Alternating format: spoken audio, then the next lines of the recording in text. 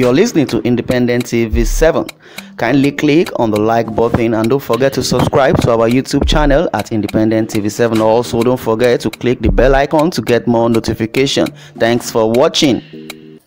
The Human Rights Writers Association of Nigeria has asked the Federal High Court sitting in Abuja to jail the Director General of Okay, uh, as it is uh, the Human Rights Writers Association of Nigeria, uh, everywhere asked the Federal High Court, uh, sitting in Abuja to jail the Director General of the Department of State uh, Services, uh, DSS.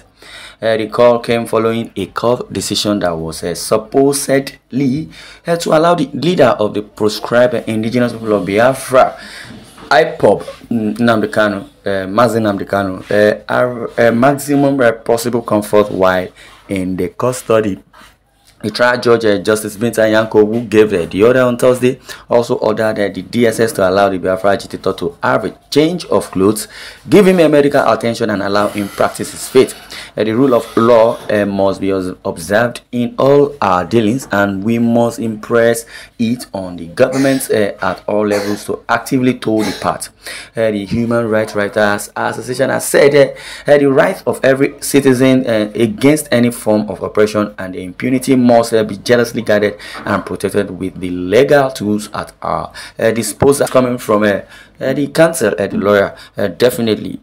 Yeah to continue in same vein uh, says that the rights of citizens against any form of oppression and also impunity must be jealously guarded and protected with uh, protected with the legal uh, tools at our disposal. Uh, this is coming from HURIWA uh, all binding court orders must be obeyed. Nobody, irrespective of his or her position, uh, will be allowed to fall with uh, court judgment. Uh, yes, violation of a court order is serious, and you could find yourself paying dearly.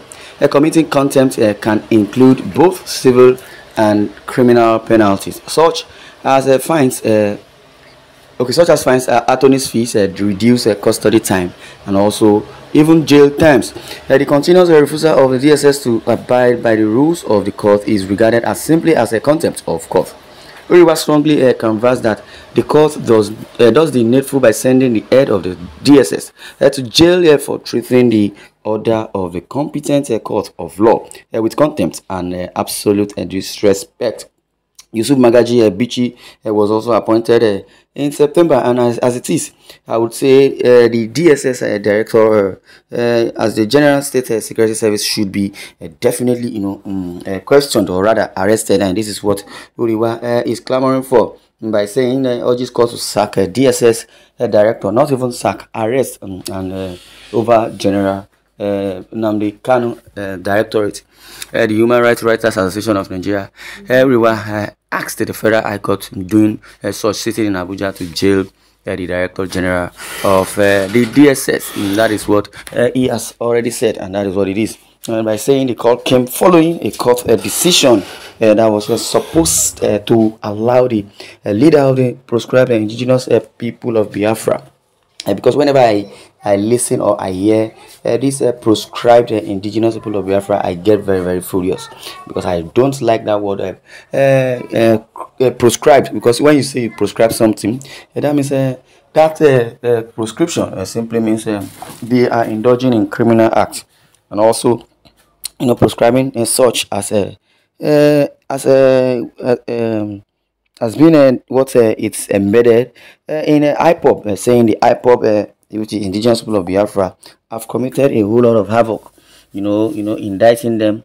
Also, uh, uh, the allegation that was meted on them says they are, you know, destroying the police re- reformation or government reformation, which I believe is not what it is, or it's not what they uh, think it is, or it's know what they say uh, it is. Because as it is, indigenous people of Biafra, mm, you know, led by Mazi Nnamdi Kanu, you know, with his antecedents, I would say I have not really done anything wrong uh, to deserve uh, this maltreatment, you know, that is, uh, you know, melted on him.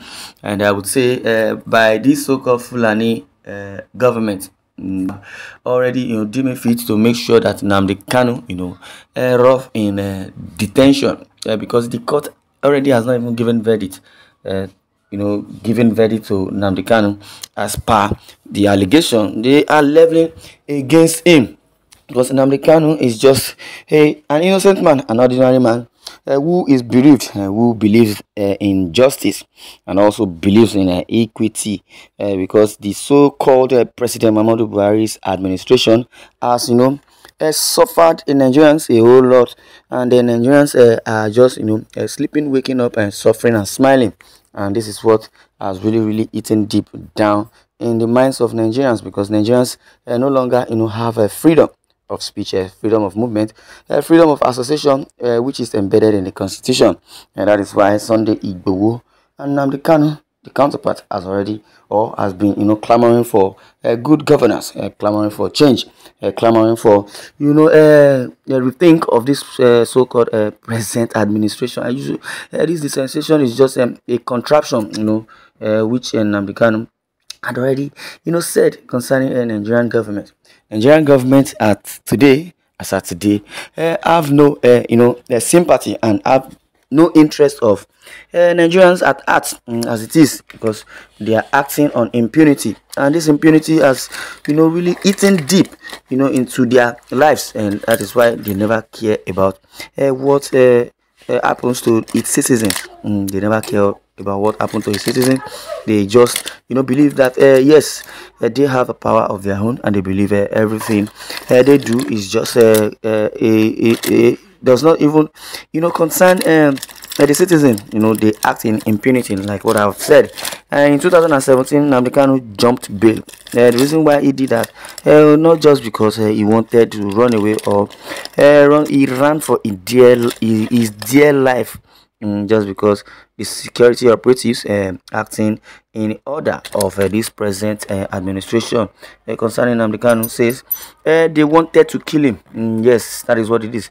They wanted to kill him, Nnamdi Kanu, just because he has been saying to them, they believe he has been saying ill of the the government. Mm, just because if they had really done the needful, why should Nnamdi Kanu uh, speak ill of a government? Well, Malami will come, or rather, I would say, uh, Garba will say, a democratically elected uh, president. Yes, that's the word they will use. A democratically elected uh, president is who and Nnamdi Kanu is trying to, you know, blackmail. Mm, they believe uh, Nnamdi Kanu is blackmailing the is blackmailing the president, which is a false. That's a false allegation. Because if Nnamdi Kanu has really, you know, indicted the uh, president by saying uh, the administration of President Muhammadu Buhari uh, has really, really done a lot of havoc to the citizens of Nigeria, especially the marginalization, you know, method on uh, method on the Igbos, uh, and uh, he believes that uh, the Igbos deserve better, uh, they deserve better than what uh, the contraption called Nigeria has meted upon them, and that is why uh, they have deemed fit. They do, do not want. Uh, uh, the diaspora, the international community, to know what uh, is embedded in Nigeria uh, government. Uh, because as it is, President Muhammadu Buhari uh, is acting on the volition of his kinsmen, and Malami is just presiding over Nigeria. Well, at this point, I'm going to draw the curtain. I'd like you to share your views in the comment section. Well, thanks for listening, and God bless you.